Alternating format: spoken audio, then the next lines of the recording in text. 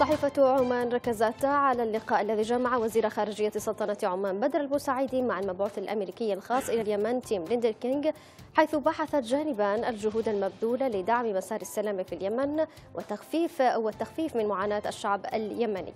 وقالت الصحيفة إن الوزير العماني أكد خلال لقائه تيم ليندر كينج على موقف سلطنة عمان الثابت الداعم للحوار السياسي لتحقيق الاستقرار والسلام والوئام في اليمن.